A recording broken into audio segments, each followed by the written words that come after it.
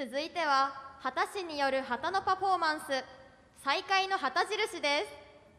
演舞では踊り子の後ろで振っているイメージが強い旗。今回7チームから旗師が集まり旗だけのパフォーマンスを披露します。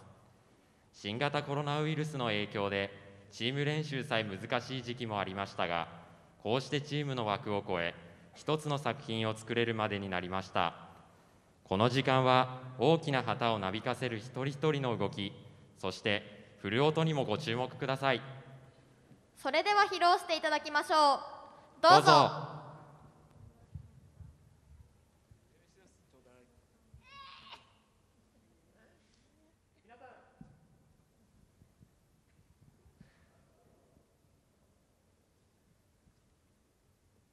皆さんこんにちは大会の旗印です。僕たち旗師は道内のよさこいチームの旗師が集まった今日限りの限定チームです。この大会ステージを見てくれている人たちによさこいの魅力や元気を、えー届けられたらというパフォーマンスをいたします。精一杯演舞いたします。お手拍子のほどよろしくお願いします。よろしくお願いします。